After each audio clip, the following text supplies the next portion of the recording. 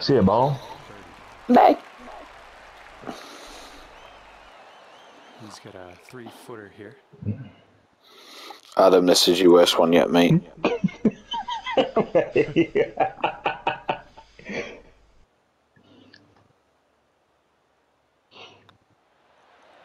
Oh, my God! What did I say?